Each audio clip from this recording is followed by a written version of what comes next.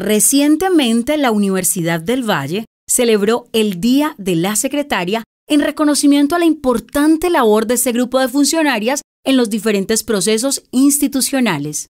La jornada se realizó en el Club Piedra Linda y comprendió actividades lúdicas y formativas. Pues primero que todo agradezco a las directivas de la Universidad del Valle por este homenaje que nos ha realizado la secretaria de la universidad, porque nos permite resaltar que somos también parte de esta gran institución.